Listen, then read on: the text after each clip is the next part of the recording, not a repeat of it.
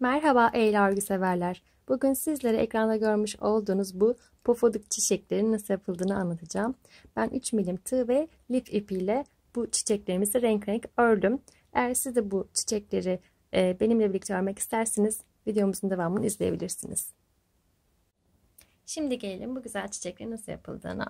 İlk önce bir sihirli halka yaparak başlıyorum.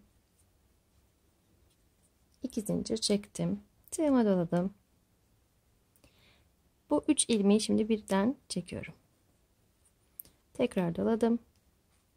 Tığımdaki 3 ilmeği birden çekiyorum. Yani üzerine e, dolayıp sık iğne mantığıyla topluyoruz. Bu şekilde 9 tane dolduracağım. 4 5 6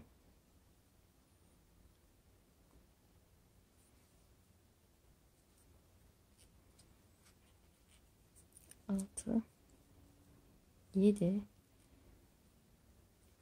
8 9 Şimdi alttaki ipi çektim. En baştaki boşluğa batıyorum. Çıkan ilmeği de diğerin içinden geçip bir tane zincir çekip kesiyorum.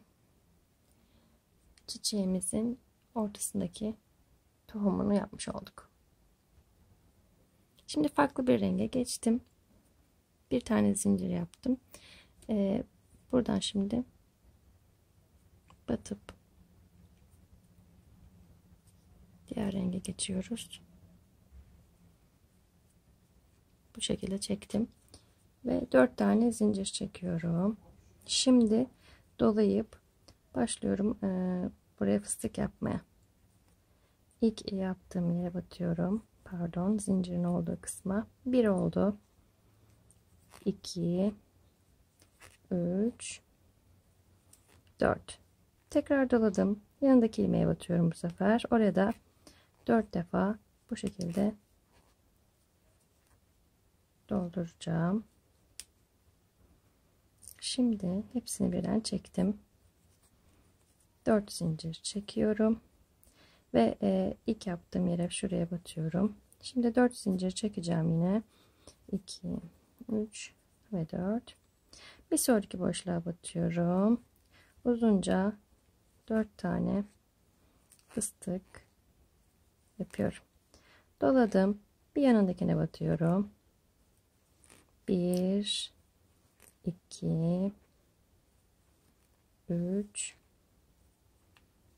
4 hepsini birden çektim.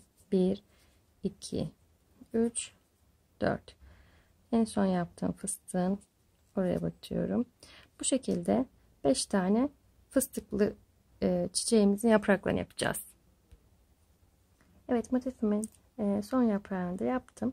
Daha ince uçlu bir e, tığ aldım şimdi.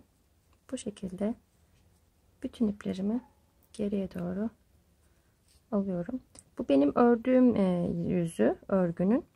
Bunun tam e, arka tarafı kullanılıyor. Şu iplikleri keseyim. Göstereceğim sizlere. Benim ördüğüm yön burasıydı. Bu e, kabarıklığı, pofudukluğu veren tarafı da bu yüzü gördüğünüz gibi. Motifimiz bu kadar kolay gördüğünüz gibi. Renk renk birkaç tane daha böyle çalışmıştım sizler için. Deneyecek olan bütün arkadaşlarıma kolaylıklar diliyorum. Hoşçakalın, sevgiyle kalın.